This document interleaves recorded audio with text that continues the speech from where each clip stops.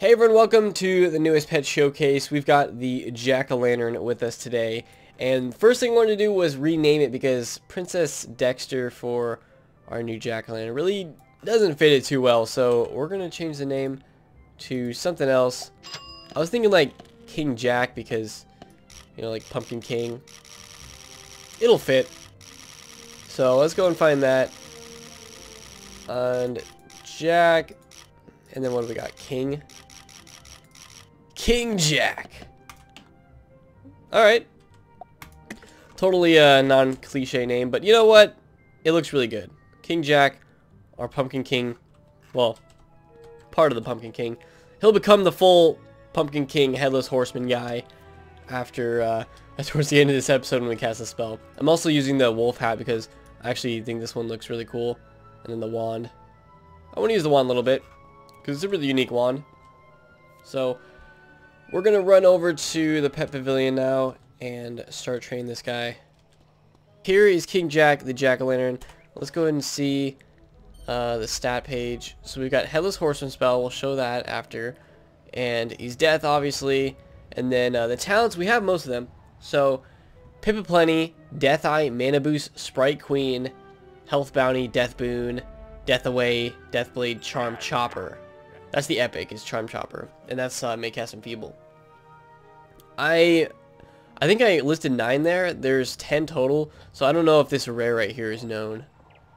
But we do know all the other ones. So I was looking at Sprite Queen, which is one of the ultra rares. And I was trying to think uh, what that was compared to Sprightly. Is it like a better Sprightly or, you know, what is it? Because it seems like it's just a Maycast Sprite, but it's a Sprite Queen instead of just a Sprite. So maybe it's an upgraded Sprightly? I don't know. People use Fairy now anyways, so that uh, doesn't really make too much of a difference. But yeah, we are going to be training up this guy to adult. Whoa. We're going to be training up this guy to adult, see what talents we can get. Maybe we'll get the one that's unknown. Just look at this pumpkin for a second. I mean, it's like glowing green and it's like frowning. Oh yeah, and that's what he does when he uh, contemplates the universe by looking up. So, we'll train him up and we'll be right back after we see what he gets.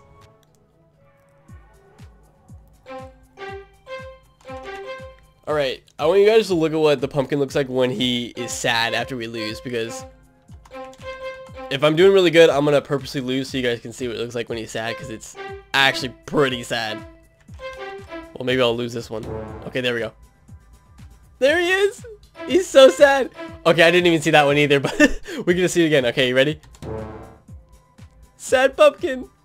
Alright, one more time, because I didn't even look. I'm more interested in his sad just okay. Just okay. Just okay, Pumpkin. He's so sad. No. All right. He's going to be happy, though, because we're going to give him a snack that will get him to adult. So there you go. See, now he's happy again. And his happy dance is just him jumping a bunch. So yeah, Maycast Sprite Queen. So we actually got the one I was talking about. Yeah, there he is. There's just his smiling face. Smiling with, you know, a frown. Alright. So, not too bad. Got him to adult, and he got Sprite Queen, and then he also got the Death Blade. So, two Maycasts. He has quite a few Maycasts, because he also has the Maycast Enfeeble. So, Maycast Death Blade, Maycast Sprite Queen, and and then uh, there's all the other ones. Mostly Death ones, because you know he is Death.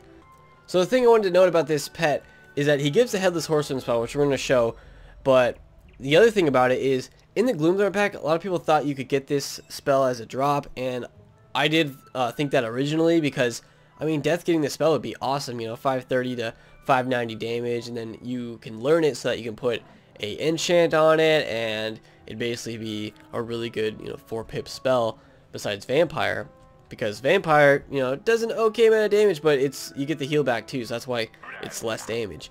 But this one would be, you know, really cool for Death. So, I don't know, I kind of would like this to be, you know, eventually a lore master slash craftable spell, but we'll just have to wait and see if that's going to happen. So, a lot of people were kind of wondering about that as to why you couldn't get it in the Gloomthorn pack, but that's just how they made it.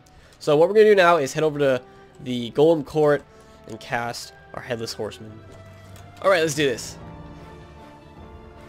time for your shining moment. King Jack casting the Headless Horseman. Well, of course we need, you know, four pips. But we'll get there.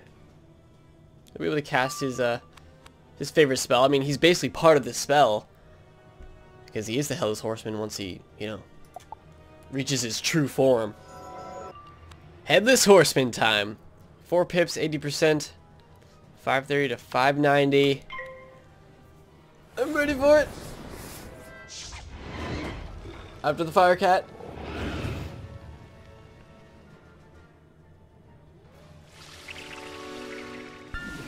Oh, wow! I was like, wait, why is he casting a, a life spell? Okay, well thanks for the, you know, the Sprite Queen. I appreciate it. I was like, wait, is it is it messed up? Is it actually a, a life spell?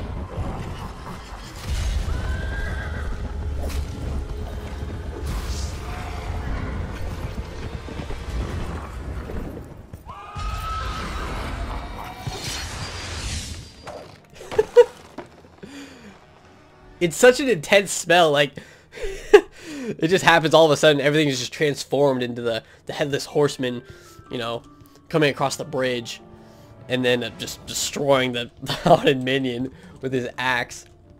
Which makes me feel kind of sad that you can only get it from the pet, you know? Like, it's such an awesome spell and they put some time into that animation and we only get it as one item card from the pet, from a specific pet. So, I don't know.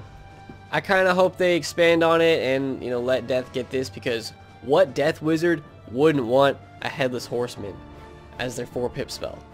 I mean, I don't know. I hope they'd uh, update that at some point because they have in the past. They have added uh, spells like that to be craftable, so they could add that later. But that is probably going to do it for the Jack-O-Lantern Pet Showcase. Really awesome pet. My favorite part of the Gloomthorn pack.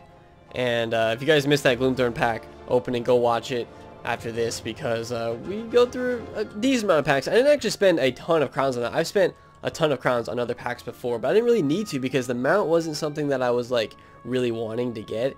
And some people got the mounts, you know, within 10k crowns. I spent like 13k, so didn't really get a permanent, but I got what I wanted, so that's all that matters. But yeah, if you guys enjoyed this, leave a like for the Jack-O-Lantern pet. Really awesome looking and just awesome in general because it gives a new spell. So we'll see what they do with that new spell in the future. But uh, otherwise, subscribe for more videos, and I will see you all next time.